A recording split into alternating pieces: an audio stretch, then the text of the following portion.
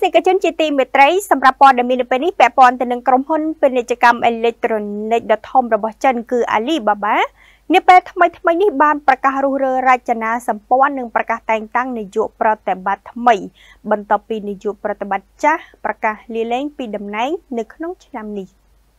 ក្រុមហ៊ុនពាណិជ្ជកម្មអេឡិចត្រូនិក Alibaba ប្រកាសតែងតាំងនាយកប្រតិបត្តិក្រុមហ៊ុនថ្មីខណៈ CEO បច្ចុប្បន្នឈ្មោះ Daniel Zhang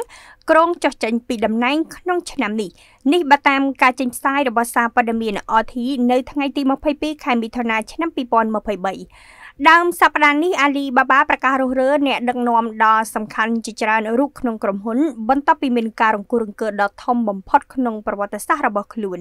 បុគ្គលិកសំខាន់សំខាន់ដែលត្រូវបានតែងតាំងទូនីតិថ្មីត្រូវបានគេស្គាល់ថាសិតសឹងតែជាមនុស្សចំណិតរបស់ស្ថាបនិកអាលីបាបាលោកជេកម៉ាអាលីបាបាបានប្រកាសនៅ ថ្ងៃអង្គារសប្តាហ៍នេះថាលោកអ៊ីដាយ៉ាងមីងដែលជាប្រធានប្រតិបត្តិអង្គភាពពាណិជ្ជកម្មអេឡិចត្រូនិកតាបៅនិង Timor 그룹 នឹងចូលមកកាន់តំណែងជានាយកប្រតិបត្តិបន្តពីលោក Daniel Zhang ចំណែកឯលោក Josai ដែលជាសហស្ថាបនិកមួយរូបនិងជាប្រធានផ្នែកហិរញ្ញវត្ថុ Alibaba នឹងត្រូវបានតែងតាំងជាក្រុមប្រឹក្សាភិបាលជំនួសវិញ ការតែងតាំងបុគ្គលសំខាន់ទាំងពីររូបនេះនឹងចូលជាធរមាននៅថ្ងៃទី10ខែកញ្ញាខាងមុខហើយលោកសៀងនឹងទទួលបន្ទុកជាប្រធានក្រុមប្រឹក្សាភិបាលនិងជានាយកប្រតិបត្តិអង្គភាព Cloud របស់ Alibaba Alibaba បន្តនេះគឺជាលើកទី2ហើយដែល Alibaba ធ្វើការផ្លាស់ប្ដូរដ៏ធំ ក្នុងភាពជាអ្នកដឹកនាំប្រតិបត្តិក្នុងរយៈពេល2-3ឆ្នាំ បន្ទាប់ពីសហស្ថាបនិកគឺលោក Jack Ma បានលាឈប់ក្នុងឆ្នាំ2019ហើយវាកើតមានឡើងប្រមាណខែ បន្ទាប់ពីក្រុមហ៊ុនបានប្រកាសពីការរៀបចំរចនាសម្ព័ន្ធដ៏ធំបំផុតរបស់ខ្លួន ក្នុងរយៈពេល24ឆ្នាំ កាលពីដើមខែមីនាកន្លងទៅ Alibaba បានបំបែកក្រុមហ៊ុនទៅជា6ផ្នែកដាច់ដោយឡែកពីគ្នា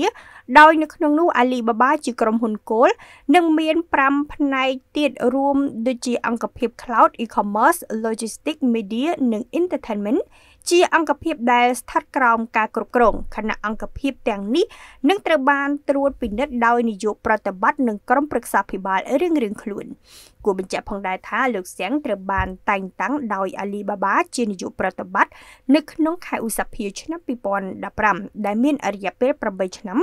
បន្ទាប់ពីលោកចូលបម្រើការងារដំបូងនៅក្នុង Alibaba ដោយឡែកនៅក្នុងឆ្នាំ2019លោកបានជំនួសតំណែងលោក Jack Ma និងកាន់តំណែងបន្ថែមទៀតជានាយកប្រតិបត្តិស្របពេលដែល Jack Ma បានចូលនិវត្តន៍នៅក្នុងឆ្នាំ2019នោះ